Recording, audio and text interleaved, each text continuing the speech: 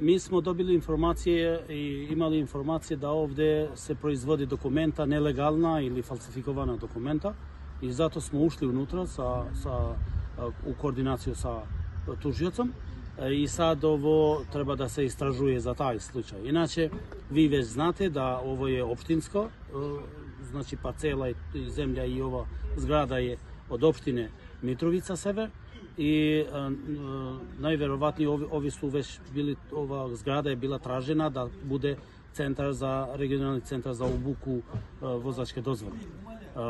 Čim ovo se završi, onda ova zgrada najvjerovatnije će da, da bude za ministarstvo infrastrukture. To nije policijski problem. Mhm. Ono što ja mogu da kažem jeste da ova zgrada je opštinska zgrada. Mi smo znali da ovdje ljudi radu, legalna struktura je tu, paralelna opština je tu i zato smo i ušli unutra i da vidimo kakve dokumente, šta se radi tu. Nismo znali do sad šta se radi tu i sad to je od tužioca, zavisi od njega od e, šta, šta dalje. Radili u petak, mi smo znali i oni su već znali, dobili informacije da ovo treba da se napusti zato što ovdje tokom meseci, ja sam to rekao, na primjer, da ova zgrada će da bude zgrada za regionalnu obuku za vozačke dozvole.